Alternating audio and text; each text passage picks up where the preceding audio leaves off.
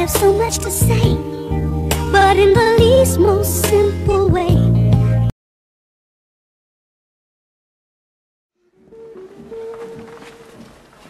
Well, you pulled it off. Yeah, it went okay. At least nobody got hurt. Except you. No, I didn't get hurt that bad. Come on, you two, shake a leg.